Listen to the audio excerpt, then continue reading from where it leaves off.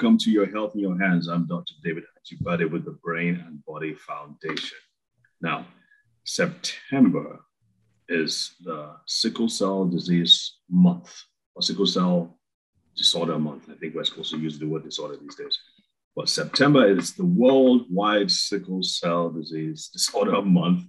And we are going to have a couple of shows for you uh, as regards to that. As you know, as you know, the Nigerian government has authorized and deputized and indeed mandated us to address sickle cell disease in Nigeria. As you know, also, Nigeria is number one in the world, not only in terms of numbers, but in terms of severity.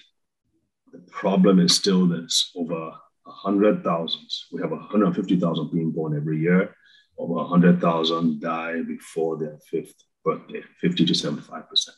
That is a tragedy that should not be, especially with all the smart doctors, smart healthcare professionals, smart people in that country, in our country. We should not let this continue to happen. So, part of what we're doing under the authority, like I said, of the government, we're going to do a couple of things. We're going to kick off a research project in, we're hoping to do it in uh, three hospitals in three, three states Abuja, Lagos, and Ekiti. Ekiti being my state of origin. Uh, it seems only fitting that we do it we, we do it there.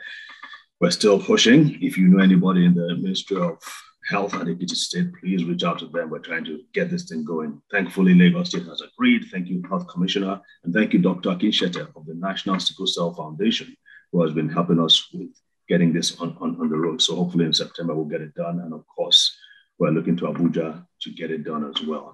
The end game, the end goal is that doctors who, and healthcare professionals, nurses, and so on, who are treating children with sickle cell anemia, and sickle cell disorder, include, and this is, and we're very strong about this, we've been working about working on this now for about four years now, include as part of the routine medications supplements that will help to strengthen their immune system. We have proven this over and over and over in, in our centers that simply strengthening the immune system of these kids, especially those below the age of six, can significantly, significantly improve their health and, of course, address that terrible number of 50 to 75% dying before the age of five. So we, that's what we're aiming for. But that's not the only thing we're doing when it comes to sickle cell disease. We're also raising funds to get supplements so we can give to those in the remote areas. Now, over here in the US, we're partnered with an organization called Tackle Sickle Cell and also Embrace Kids Foundation. We're working with twins. They are in the National Football League, not soccer, but football. Uh, extremely wealthy, uh, but they, are, they, they died, their aunts died of sickle cell disease. So it's been a passion for them to help to support uh, individuals with sickle cell disease. So they're going to match our funding, our fundraising, uh, up to the tune of 25,000. So we have potentially, we can raise 50,000 to buy supplements and nutritional supplements and nutraceuticals for individuals in remote areas. And of course, probably the most important thing that we're doing is the whole education, which is kind of like what we're doing on TV now. Of course, we're on Instagram and the other social media platforms giving out tips, working with other healthcare professionals, working with other parents and um, pro health um, care providers of individuals with sickle cell disorder. And as a matter of fact, on our show today, we have one of such people. I'll introduce to her briefly, and then she'll say a, little, a few more things about herself. Uh, she is the parent of a nine-year-old son who has sickle cell disorder, and she's had a, one, a very interesting journey trying to take care of him um, we're also, she's also going to be talking about how tips and how parents like her, especially in Nigeria and around the world who have kids with sickle cell disorder, can better take care of their kids. So it is with great honor and pleasure that I welcome on the show Funmi Vanessa Ulam. Welcome to the show, Funmi. Thank you very much, Dr. David. It's a pleasure to be here. Um, the introduction was really inspiring to know that uh, you have been able to gain the support and the allies of such influential people so far. Um, really, as the mother of a child with sickle cell, all we want is for to know that people are there to help us. So um, thank you for your work. It's uh, it's truly an honor to be part of this discussion. Um, so I'd just like to introduce myself um, and, and say my name is Funmi. Um, I am the mother of a, a nine-year-old um, boy. He has sickle cell, SS. Um, and um, so I'm currently based in, in London in the UK. I, am the mum of two, actually. So Eli is my firstborn. for me, when I received the diagnosis, uh, I have to say it changed our world um, completely turned everything around. And um, to this day, I can remember that feeling, you know, being in the consultant's office um, and being given the diagnosis. I, it has to be one of the hardest moments of my life because I had heard of sickle cell, but I, I didn't know enough. Um, and I believe that as well, you know, I, I wasn't aware until actually I was pregnant. I had the sickle cell trait. So um, I was suddenly thrown into a world that I, I was not prepared for. Um, and I think being a mother as well, you know, a, a, mother to your first child, it's a journey that no one can prepare you for. Um, there's no manual for, for, for a new mom, but even harder, there's no manual for um, the mother of a child with, with sickle cell. Um, so immediately, I remember I, I, just burst into tears in the in the office um, of the consultant, and I I just didn't know where to turn, what to do, what to think. Um, and I remember my mother was with me at the time, and she said, you know, don't cry. And um, you know the, the, the Nigerian spirit of um, my mother were Yoruba, um, so it was like you know don't cry. So immediately I just um, began to think, okay, all right, I'm not going to let this thing drown us. Uh, you know, you can either sink or you swim. So I right. think in that moment, I decided that, okay, I need to know everything about sickle cell. Um, I need to ensure that he has the best quality of life um, that I could give him, you know. So, um, so I left the office. Obviously, I was afraid. Um, but one thing with me is I always try as much as possible to be um, positive about the situation.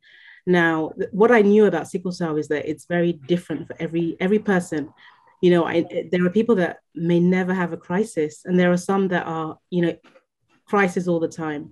So I decided that I would um, I would think of the way forward for my son, um, you know, the best way to give him the best quality of life. So that was my mindset from day one was, okay, how can we fight this? How can we not be a statistic? Um, and that has never left me. And um, and I think you know in the moment having that mindset has really helped how we've coped with, with sickle cell. With our son, we're now nine years down the line, so we have nine years experience of of living with this condition. Um, and truly, you know, it can be um, very challenging. Um, mm-hmm. given us many dark moments where we've wondered how we're going to get out of this, um, especially those times in hospital with a crisis, um, with a young child. Um, wow, it's uh, it's an emotional journey, um, but all mm-hmm. through everything, I held on to my faith and I held on to the fact that I would research everything there was to do with sickle cell.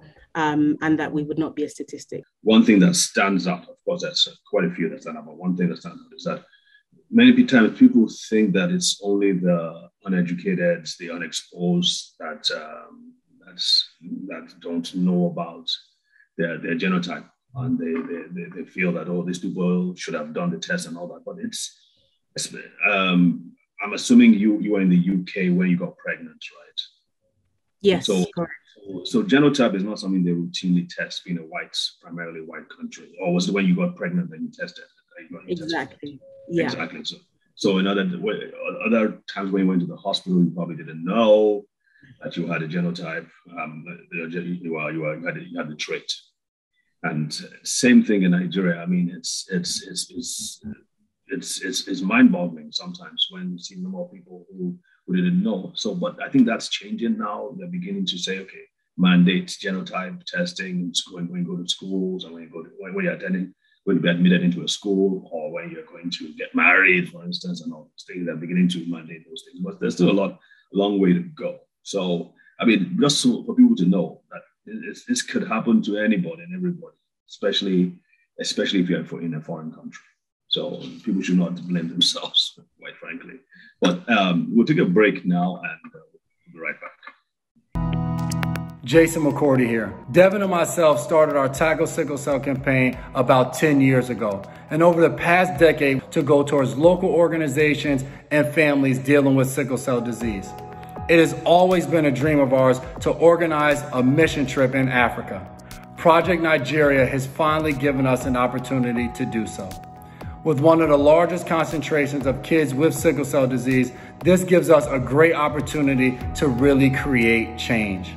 There are hundreds of thousands of little kids dealing with sickle cell, and what's even crazier is the mortality rate by age five is over 50%.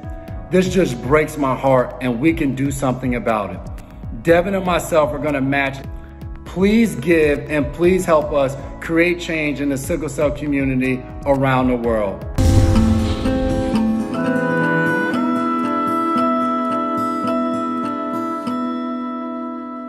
Okay, welcome back, folks. I'm here with Vanessa Ulam, who is a mother of a nine-year-old son with sickle cell anemia, and we are talking about some of her experiences and some of the tips and not, not, not just she has learned through her experience taking care of her son. Hopefully, things that we yeah, you can apply wherever you are in the world. So, you mentioned a couple of things about uh, being in the hospital and having having to take care of your son. And I'm, I'm pretty sure in the hospital in the UK that they don't have as much experience treating sickle cell disease. I mean, what can you run us through some of the experiences you had and what's uh, some of the valuable things you learned? So it's a great question. Um, very early on, um, I was told, you know, when he's six months, he will begin to have the the crisis. So immediately, I um, I think I rebuked it. I said, no, he, my son won't. Um, and I was just so sure that I didn't want to see my six month old baby um, in pain. So I, I, I just maintained that mindset. Um, and I think I was blessed and lucky that he didn't have any pain until he was around uh, just after two when we saw the impact and, and sickle cell showed us really what sickle cell is you know he was in pain um, and I remember we were in the hospital. He was screaming, crying. Um, he he would not want to be left alone. I I was holding him, you know, for nights upon end, no sleep, and um, that was when I I felt really alone, as in because the doctors uh, struggled to get the pain under control, and um, and when a child is so young, and things like um, getting a vein for a blood test or the cannulation you know all of those things are are very difficult. So um, that's when I, I felt powerless and i think any mother would any parent would um, to watch a child screaming in agony and there's nothing you can do i right, mean right. I, you know i can never forget that feeling um, so this continued you know he would have crisis after crisis um, where we would and it was always in the night um, so we'd find mm. ourselves packing up, you know, rushing around the house in the night, running to the A&E. And then from there, we'd be admitted. And the um, procedure was always the same, you know, obviously blood test to check, check the HB level, blood mm. test check for whether there's an infection, um, you know, spleen checks, and then, um, you know, the appropriate course of, of action depending upon the results. Um, typically for Eli, it was very rarely because of infection, um, and it wasn't ever because of spleen. He just would have pain, painful crisis, and um, you didn't know what the triggers were, were for that. I couldn't identify the triggers, although. Um, you know, I live, we, we were living in the UK, we still are in the UK right now. And the weather, you know, I, when I look back, I know that around from October onwards, you know, we would have crisis. In fact, my birthday and his birthday falls within the winter periods. And I can remember that we were never able to um, solidify any dates for any celebrations because of what might happen. Um, and it was always that period. So hmm. um, triggers were weather. You know, they say extreme cold, extreme heat, any weather changes. Um, yeah, or, rapid rapid changes in temperature. Yeah, exactly. And then um, I believe as well overexertion. Um, and I also believe, you know, cold water, you know, swimming. Although he didn't swim, but um, I can remember sometimes on holiday where a trigger was, um, sorry, a crisis was triggered. Um, but looking back now, I, I truly believe that diet um, had a big impact. Um, so I had no idea about the fact that a child with sickle cell has um, greater than average nutritional requirements. Um, in my opinion, I think that we need to be very mindful of things like, you know, vegetable oil, sugar, you know what we're feeding the body um, can really dictate you know how much inflammation there is in the body. Right. and you know um, pain is caused by inflammation. So I, I wasn't paying attention to any of those things. I had no education around those things. Um, so looking back now that i've made changes to what he eats um, i can see a difference. So um, yeah so i would say you asked about triggers doctor. So uh, trigger i think definitely a poor diet um, isn't going to help a child with sickle cell. Right, right, definitely. And I'm glad you talked about inflammation because that is an extremely important aspect that people don't talk don't talk about like like they should, in, in my opinion. And um, food, you mentioned vegetable oils. Somebody would be shocked if they heard you say vegetable oils because everybody thinks, well, vegetable, right? So vegetables are good for you. So if the oils from vegetables are good, they should be good for you too as well. But but that isn't so. Why do you think that's not so? Why do you say that's not a good thing? Sorry, the opinion that vegetable oil comes from vegetables. The is opinion that, that, vegetable oil is good for you, because I, I think you were saying that vegetable oils and sugar and other things are not good for, for children with sickle cell disease. So, yeah. can you explain why vegetable oils could be a bad thing? because of what it does to the blood um, and what's contained within vegetable oils. And I, I, I, believe that we don't always know of the alternative. You know, you know what you know. So until somebody says, actually, this is bad for you. I mean, the same thing with sugar. I think the world is waking up to the fact that sugar isn't great for the body. Um, so, but until you know, you, you actually don't know. So, you know, there's ignorance there, um, yeah. which I think a number of people are, um, are, you know, guilty of, but that's just the way it's been. I think now people are focusing more on, you know, health, wellness, holistic ways of living. Um, but I had no idea um, at the time. Right, right. And the thing with vegetable oils is that once they get heated, obviously when we, when we fry and when we cook, the vegetables oils get heated, especially canola oil. And uh, I'm trying to remember which are the other ones that are, uh, people think are healthy. What happens is that they, the heat changes their constitution and makes them more chemically active in certain ways that can, once taken in the body, they can trigger, they can set up inflammatory chemicals in the body. And of course, these inflammatory chemicals are carried around in the bloodstream. Then the bloodstream, that means they're affecting the lining of the blood vessels. They're also affecting the red blood cells themselves, which of course are where the, where the sickle cell sickle cells are.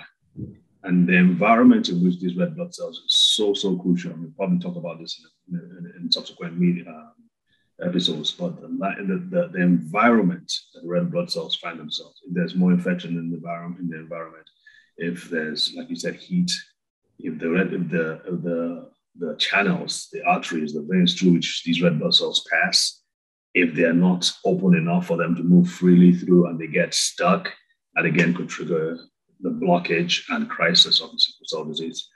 So vegetable oils, then getting back to vegetable oils, that frying of these oils, frying, um, cooking of these things to high temperatures could cause a problem in the body that can trigger a crisis by way of inflammation. So it's, it's a good thing you brought that up. Uh, we're going to take a quick break at this point and then we'll be right back. What's up, everybody? Devin McCourty here. I know Jason just gave you the full rundown of Tackle Sickle Cell, which we started about 10 years ago. He told you how we've raised about $2 million in total, and all of this started from our family member, our Aunt Winnie, who had the sickle cell disease. And, you know, starting Tackle Sickle Cell Foundation and campaign in New Jersey, then it's been in Boston, Nashville, Cleveland, now it'll be in Miami as well. We've always had a dream of going somewhere else and doing a mission trip and Project Nigeria is that. And Jay told you to give people some of the simple things we have right here in America that people with sickle cell have. So please hop on, jump aboard. Let's help make a huge difference with Project Nigeria and continue to change the life of people with sickle cell. Thank you and appreciate your support.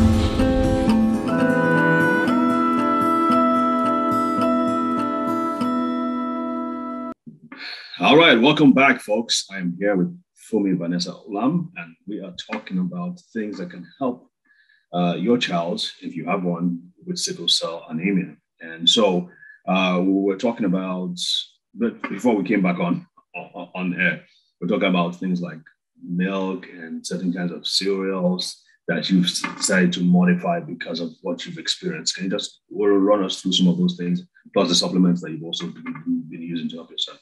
Sure, doctor. Yes, I can do that. Um, so I really focused upon what he's eating. Um, I removed sugar immediately. You know, here in the UK, we have tea, coffee, sugar. We have the jars for them. I, I, I literally threw the whole sugar jar away um, to avoid the temptation. Yes, so there's none in the house. Um, wow. I did substitute that with a, a natural, um, good quality honey, which he can have some but you know the the sugar addiction and i'll say it's an addiction i i know wasn't helpful so we got rid of that drastically. Um then cereals you know we um he used to take a lot of like um cocoa pops or or um cereals that have a lot of sugar in them. So i would make sure that i had to tell him that look this is not good for you. This has sugar in it. We're going to have to um, modify these things. So i went on to more of you know porridge oats for example um, and like wheat based um, products for his so let, let, let, me get this right. You give porridge and oats without sugar and without milk? He would have it with a dairy alternative yes the the oats. And then as for sweetener there are things like um, fruits that, that I can that I add, you know, like strawberries, blueberries, um, a bit of honey, and he got used to that. Um, okay. So one of the things that I really believe is the smaller the child is, you know, you introduce these things from a very young age because it's very difficult when your child is six, seven, six or seven. They've been eating sugar their whole life, and then you now yeah. say no more. So that's where I had the difficulty. So um, anyone that I'm talking to now, if you're a, a, the parent of a child of sickle cell, from a very young age, pay attention to the diet because you won't struggle when they're older um, because they're used to they're used to that. It's interesting how many of the things you're saying are things that we also tell our parents of children with autism and other learning disabilities. oh, really? The exact same principle: avoid sugar, avoid milk, avoid some of the other preservatives, processed foods, fried stuff. And I know it's hard on the kids. Oh, and I feel so much so so so much for them, especially when they see their siblings or their friends eating the same things and they can't eat it. It's, it's, it's I mean, it's heartbreaking sometimes to see them go through all the pain and the, the, the grief of seeing all these things happen. But you've got to do what you've got to do. I have to acknowledge the fact that you are doing this. And those parents are really lucky to have that direction from you because I feel if I had that myself, way back then, um, things may probably would have been different different for, for us. Um, and I also feel that it's uh, you mentioned siblings having something different. Mm. Unfortunately, this is a lifestyle change for the whole family. You can't just expect only that child to be making these changes you know the parents have to make the change the siblings so it's it's a lifestyle family um you know goal you have to do it together so and, that, and that's good that you, you, you have your husband's support in this whole thing too that's fantastic um, we, we, we, we kind of run out of time now, but I do want to just throw in here. I know you mentioned supplements.